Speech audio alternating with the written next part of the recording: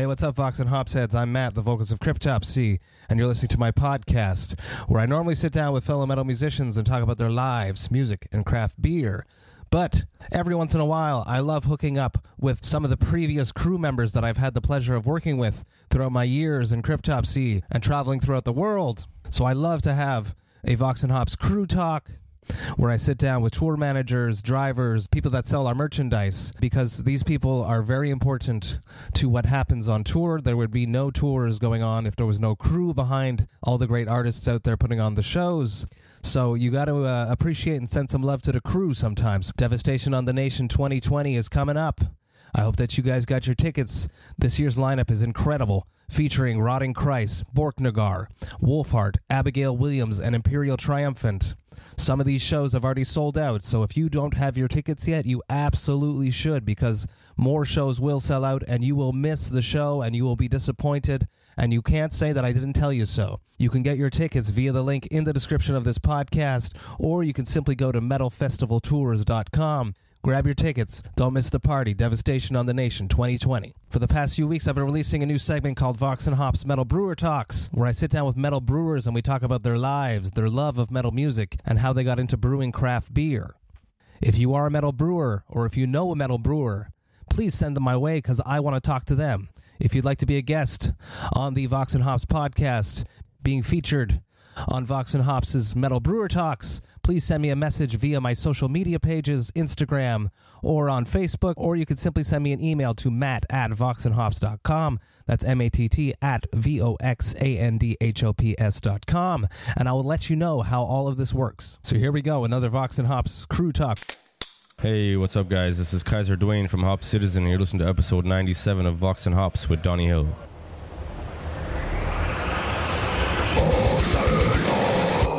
I warn you, what you are about to hear is very disturbing indeed.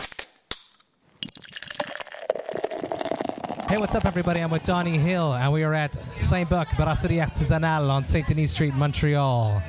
How are you doing, brother? It's so good to see your face. I'm doing really well. How are you?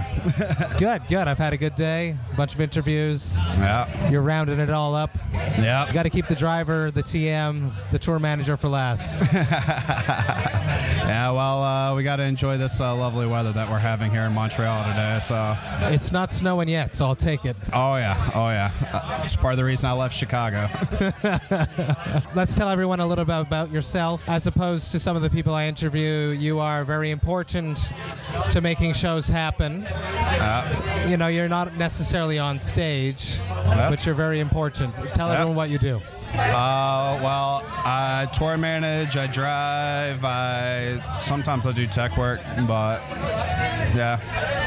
How did that all come about? How did you become a tour manager, a stage manager, a driver, a merch guy? How did it all happen?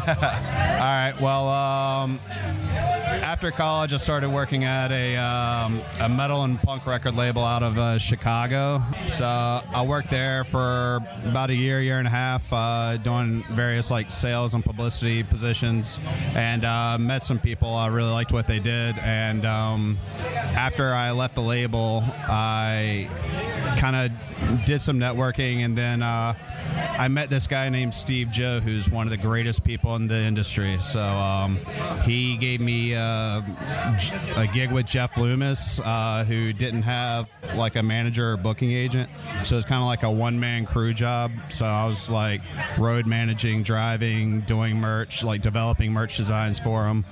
Um, and then from there, I kind of like just picked up uh, momentum working with various bands over the years, kind of like built it up. Um, like fir- first, I moved into uh, tour managing with a couple of progressive metal bands, and um, then uh, s- started filling up my schedule driving as well. So How different is it going and working at a label versus being on the road? Well, some of my first mentors in- the industry, um, their whole thing was for me to go further where I want to be. That I have to under like truly understand the artist experience. Um, so whereas a lot of people just start off in the office and all they know is the office, um, my whole thing w- are was get, getting on the road, understanding logistics of the road, and like the full, like all the aspects that encompass the life of the artist. So um, yeah, just kind of like seeing where it develops from there. So Well, you definitely have done that. yeah, I think you're ready to go back into the office now, Donnie. yeah. Well, uh, last couple years I've been working on developing a few bands. Um, hopefully, one of them will get to the point where I can truly manage them and have that kind of take me off the road a little more. It's either that or um, there's a couple of teams that I'm working with festival wise, just kind of seeing which one develops. So You have been, you mentioned on the way as we were walking here, this is your 85th lap of North America. yeah, I got really bored like two years ago and actually decided to count them. So Just imagine that. And you're on the road how many months a year? uh, 10 to 11 months out of the year.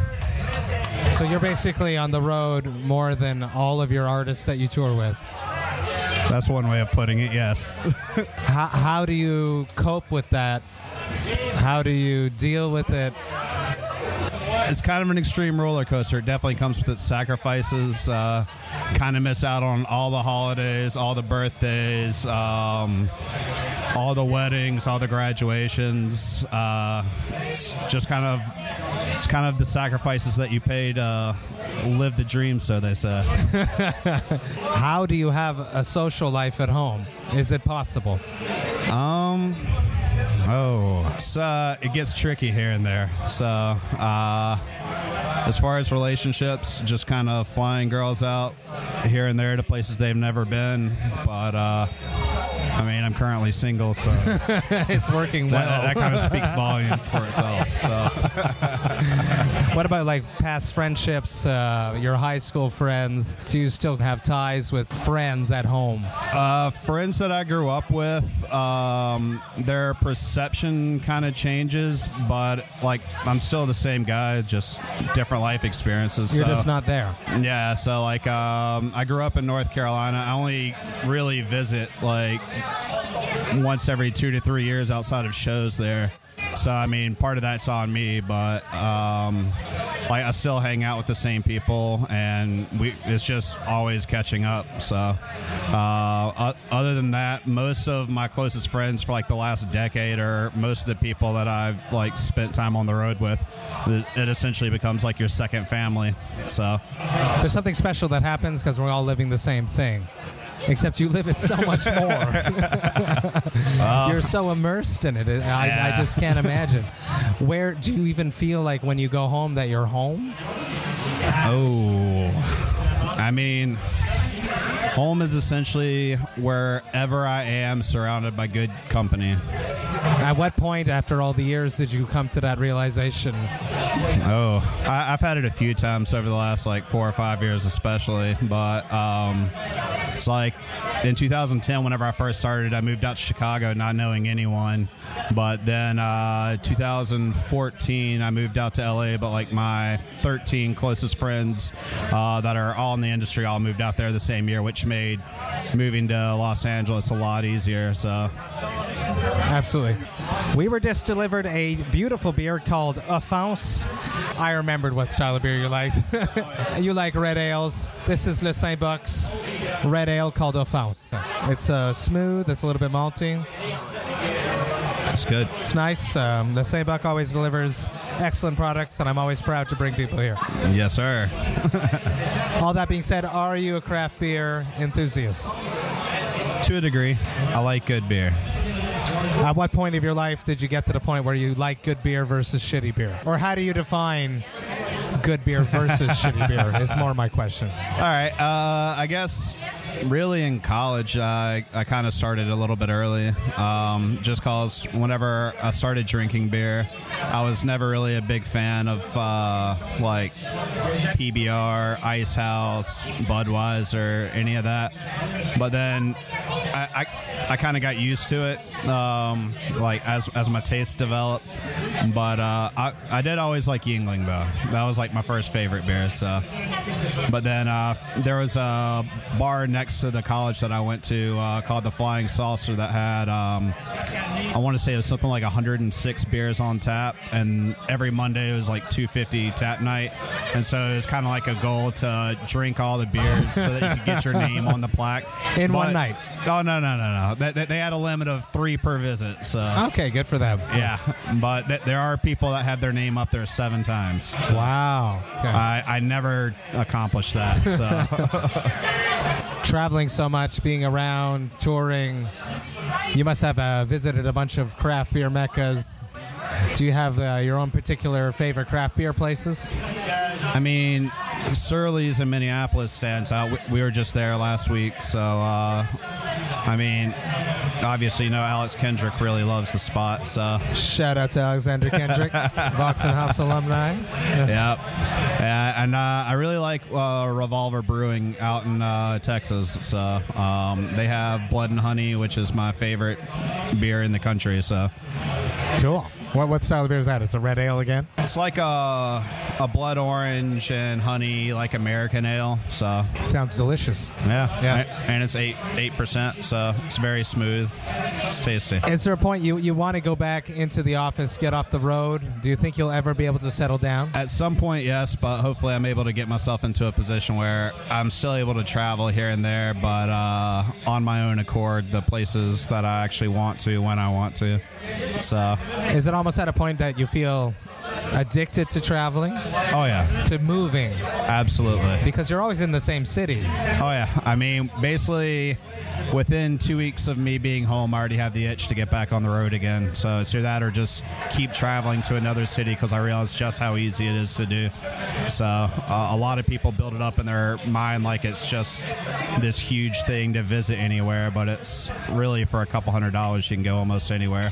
Which, if you compare it to like the price of gas, really isn't much. So That's true. That's true. yep, But on these tour cycles that you're doing, you're in the same cities, same venues. yep.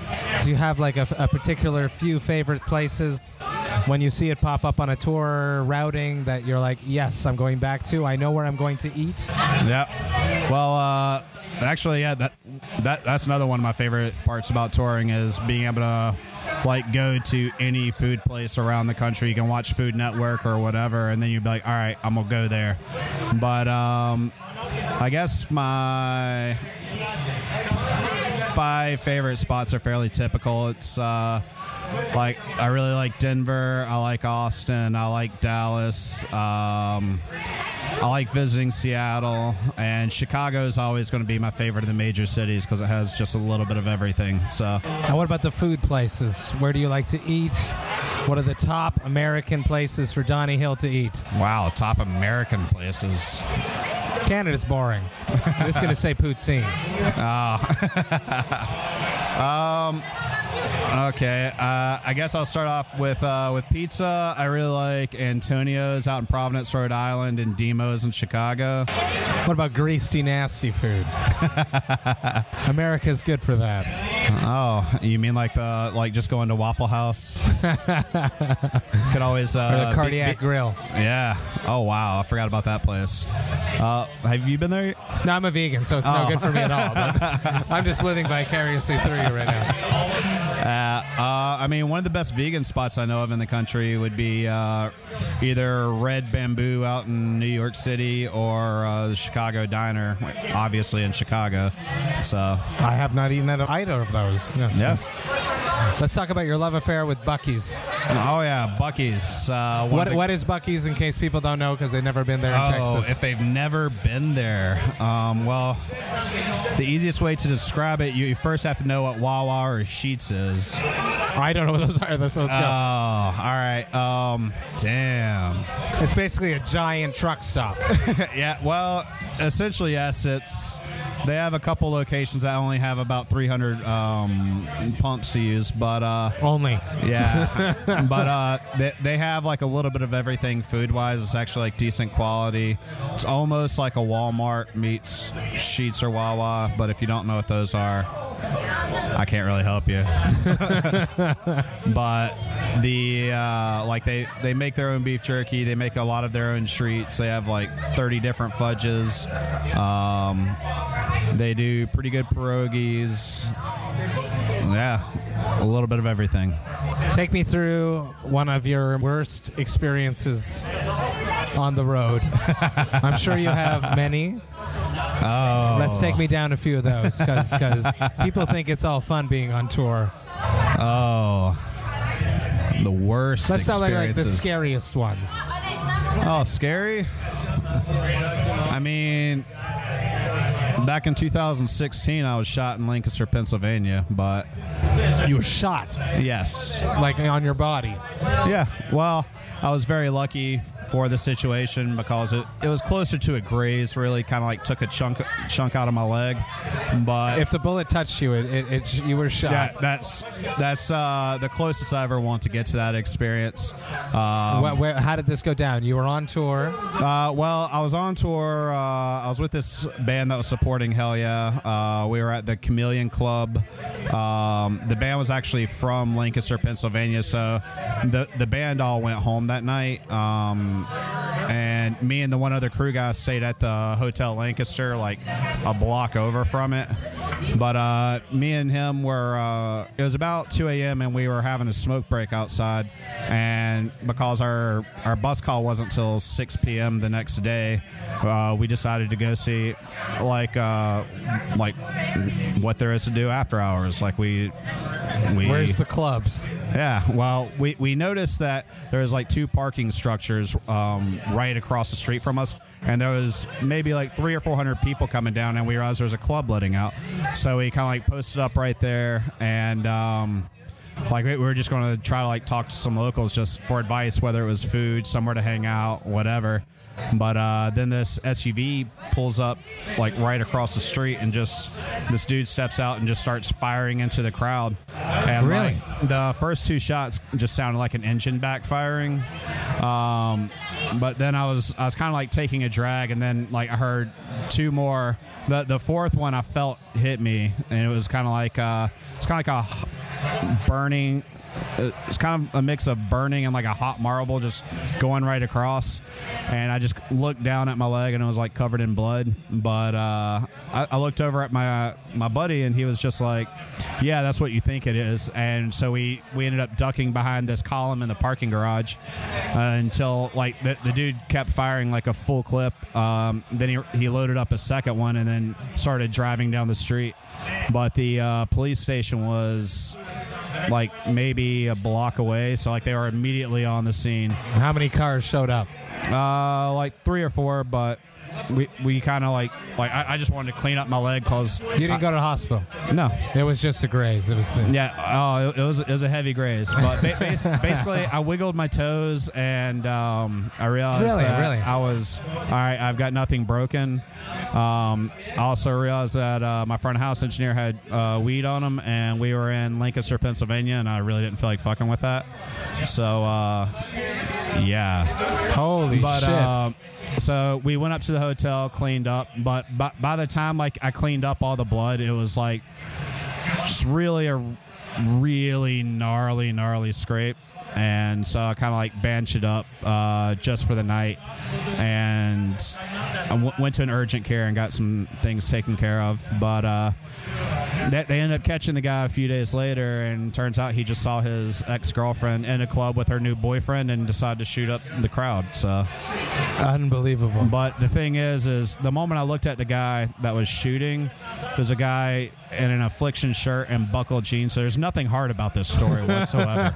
I, I just had to look at it as like, th- this is the punk ass bitch that gets to shoot me. So, but uh, A few inches, you know, it yeah, could have yeah, been a lot literally, worse. literally inches could have changed my life right there. Yeah. So that's And you kept on the tour. yeah, absolutely. You're a warrior. Uh, well, I mean, I already been through so much before that. I didn't want to be a bitch. So, and I, I didn't want to do that when I was on tour with Vinnie Paul. So, Sick.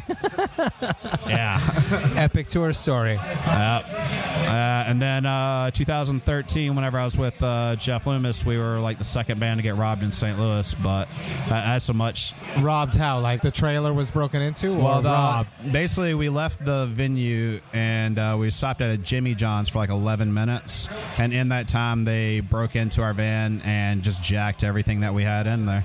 So Jeff um, Loomis was touring in a van? yeah. Wow. Basically, it was van and hotels every night. Okay, so- okay, okay. Yeah, because that, that was uh, tour. It was 55 shows in 57 days. Holy shit. Like uh, that that night was actually an overnight drive from St. Louis to Dallas. So, but um, we ended up just kind of rallying together. Uh, gave us a $500 loan just to make sure that we didn't drop off the tour right then. But uh, it's, it's a very humbling experience whenever that happens, especially once you realize how quickly it can happen. Just everything gone. Yeah. Oh, everyone's personals, Yeah. laptops, Yeah. everything. Yeah, Wow. uh, but we, we weren't missing any gear because the gear was in Soilwork's trailer. So okay, but all your personals just gone. Yeah. Passports. Yep. That's Just ho- a lot of things. Horrible. yeah. It's a it's a very it's a moment that makes you feel very naked. So, um, but we ended up doing the overnight drive to Dallas. Um, made this post, which I guess a publicist decided to add on to a bunch of websites. But um, we, we had like a PayPal donation thing, and like we, we ended up getting to the hotel about like three or four p.m. Like took a nap before we ever went to the show. I mean, we, we obviously missed the load in because uh, it was kind of a heavy moment, but uh, we ended up waking up probably about like 7:30, 8 o'clock, and by that point, like so many people had already donated, and then like going through and uh, reading the messages that everyone was leaving, especially like all the artists like from the community. Um, But Jeff Loomis is a king, so yeah, Yeah. so it was like kind of made you believe in humanity again. So uh, that, and then once we got to the venue, uh, Soilwork had made a donation box, and they'd already like people in Dallas had already donated like seven hundred dollars plus. Wow. By the time we got there, so we, we ended up just kind of paying back the five hundred dollars that we were loaned like right away. But like it, it was a moment that that kind of helped us rally together and then finish the tour. So there's still some humanity in the world. yeah, Yeah. Especially in the metal scene. Yep. it's uh, I mean, it, it was a really really cool moment. So Let's talk about you. You work uh, for the past four years as the tour manager, stage manager for Summer Slaughter. Let's talk about that. How did that all start? Take me through the ropes of what Summer Slaughter feels like as the tour manager. Oh, um, well, before I did Summer Slaughter, um, like while I was still tour managing Tesseract, I started uh, tour managing another tour called the All Stars Tour before that. And then that kind of led into uh, Summer Slaughter. I guess the easiest way to explain it, it's very, very long days.